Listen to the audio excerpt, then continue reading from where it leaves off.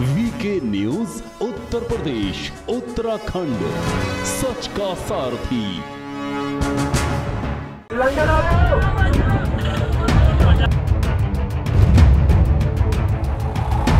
नमस्कार। VK news देख रहे हैं आप। मैं हूँ आपके साथ चेतन पाठक।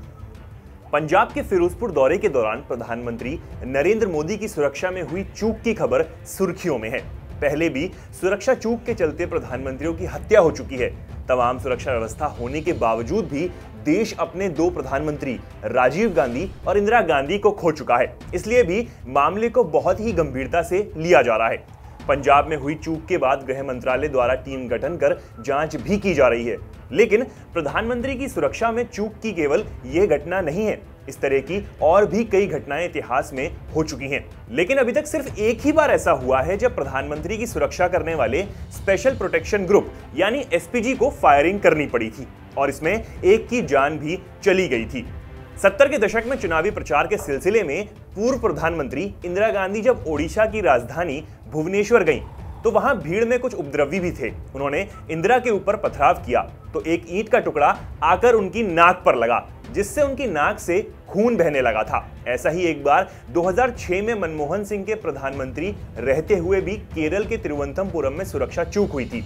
इसके अलावा एक बार पूर्व प्रधानमंत्री चंद्रशेखर की सुरक्षा के लिए एसपीजी को गोली तक चलानी पड़ गई थी।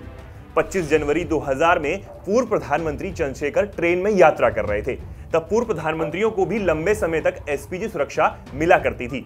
उत्तर प्रदेश के गाजीपुर ज़िले के सादत स्टेशन पर ट्रेन रुकी हुई थी। तभी स्टूडेंट्स का एक ग्रुप ज़बरदस्ती उस ट्रेन कंपार्टमेंट में घुसने की कोशिश करने लगा, जिसमें पूर्व प्रधानमंत्री चंद्रशेखर यात्रा कर रहे थे।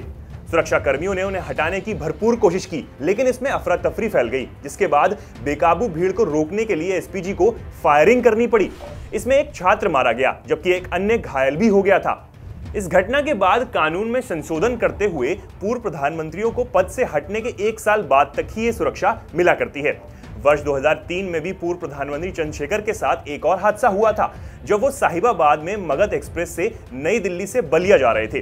तभी उनकी विंडो खिड़की में तेज आवाज़ हुई। बाद में चंद्रशेखर ने बताया कि उन्हें इस हादसे के बाद एक पुलिस अफसर ने बताया कि उनके कंपार्टमेंट की खिड़की पर भी गोली चली थी, जो इस विंडो में फंस गई।